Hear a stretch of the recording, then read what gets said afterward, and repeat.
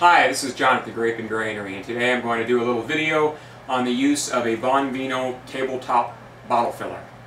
So as you can see, we have everything set up here, ready to go. Um, I've got an empty wine bottle we're going to fill.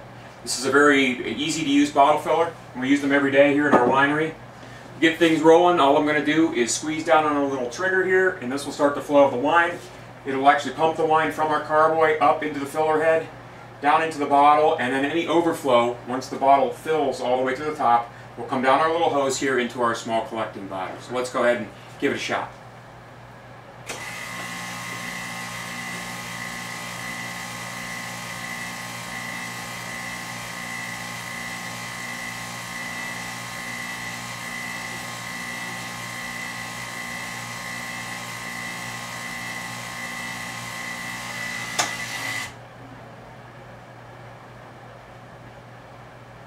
As you can see, our bottle is filled up quite well. Just with the right amount of headspace here, a little extra wine has gone into our little extra bottle, and we're ready for our next bottle. So what we'll do now, we'll pull down on the foot, remove the bottle, and we're ready to put our next bottle in place. So push the foot down, lift up, make sure, sure we're secure here, and we'll squeeze the trigger again, and begin filling the next bottle.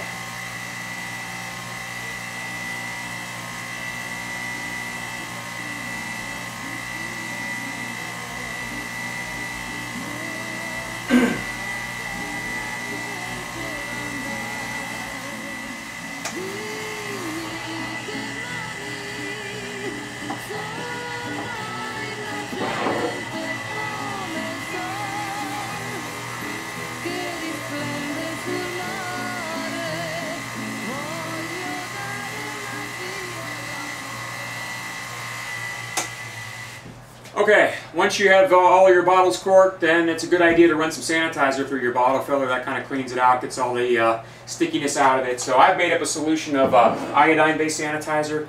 You could also use some Easy Clean, One Step, um, sulfite solution would also be good. So we'll put our hose down into our sanitizing solution, have a nice uh, empty bottle to uh, use for this purpose, and then also, again, you want to make sure that you run the sanitizer through your overflow hose. And that just goes down into our little collecting bottle, and we'll go ahead and just run the uh, sanitizer through the bottle.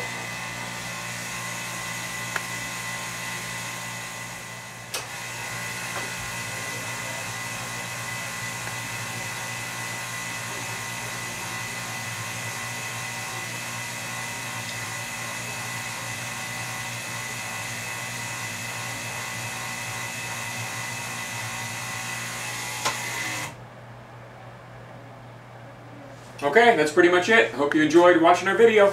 This is John from the Grape and Granary. Thanks for watching.